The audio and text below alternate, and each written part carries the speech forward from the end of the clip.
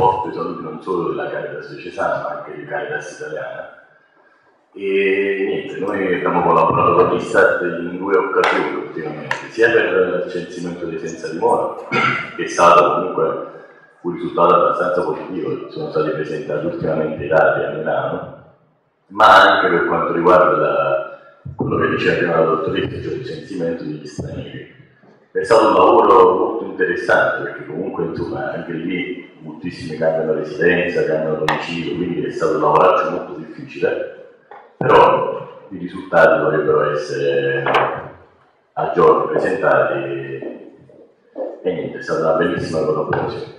Ora aspettiamo qui perché ho letto un po' il questionario e volevo sapere un po' di più.